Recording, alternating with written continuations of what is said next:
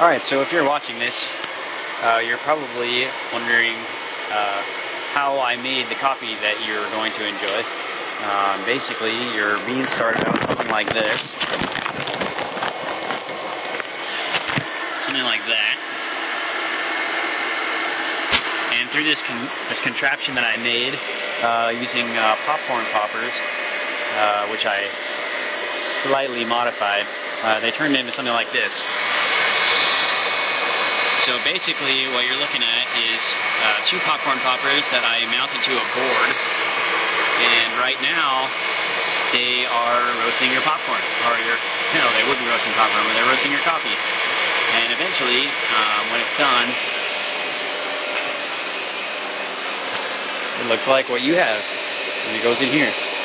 Uh, that's basically it, but it does take quite a long time. So, hope you enjoy.